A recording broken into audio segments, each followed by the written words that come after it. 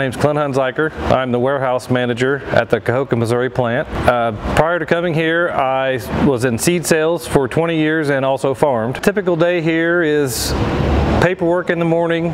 Um, right now, fertilizer season's going, so we unload trucks, order trucks, you know, organize shipping in and out, and mixing and blending is probably my busy time right now. My work environment is very fun.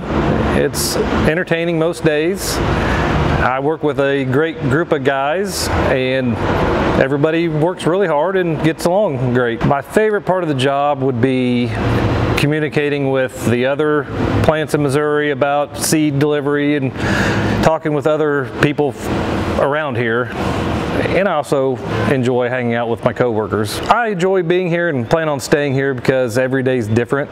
It's it's always something different going on. It's a challenge. Every season's a different challenge. And I, I really enjoy the people I work with. So I've been to several locations and everyone is very friendly, eager to help, eager to listen. Um, I like the fact that I can call anyone in the company and they'll answer the phone or call me back real quick. So the communication's great. Uh, the benefits, the pension, it's all excellent.